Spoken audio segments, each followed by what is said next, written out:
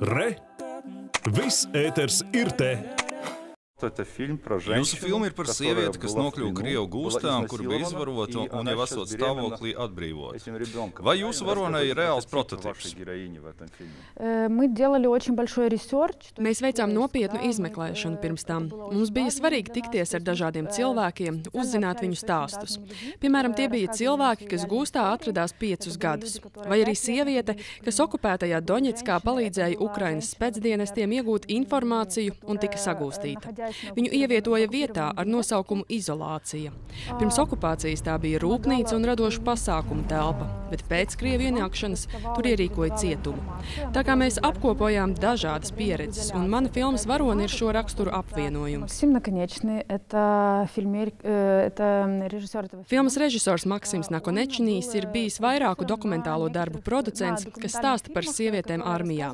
Kad 14. gadā sākās karš, mūsu armijai negāja labi, nebija materiālā nodrošinājuma, un visi, kas nebija vienaldzīgi, devās karā. Tie bija vienkārši cilvēki, tādi kā mēs. Tā kā stāstu bija daudz, arī par sievietēm. Film 18. gada. Filmas ideja radās 18. gadā. Kaut arī karš risinājās jau vairākus gadus, daudz notikumu, kas tagad ir satricinājuši pasauli, vēl nebija notikuši. Vai varam teikt, ka šī filma ieskatījās arī nākotnē? Nu, да, у нас есть такие кадri, которые... Jā, ir daži tādi kadri, bet, teiksim tā, karš notiek jau astoņus ar pusi gadus.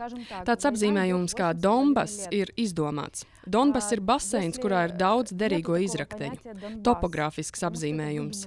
Donbass nav cilvēki ar vienotu reliģiju, valodu vai vēl kaut ko. Tas ir Krievu izdomāts mīts, kas kaut kur tālumā dzīvojošajiem varbūt šķita pieņemams. Bet tā nav taisnība. Intervence sākās ar Krimu, un tobrīd manai varonai bija svarīgi redzēt notiekošo, reaģēt un pieņemt lēmumus.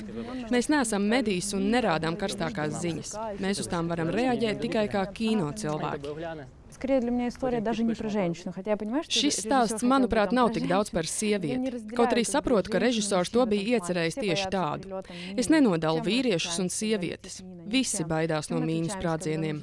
Ar ko mēs atšķiramies? uzlidojuma brīdī vai palīdzot apsaitēt ievainojumu? Tas ir par to, ko tu esi gatavs darīt realitātes priekšā aizvērt acis vai atvērt.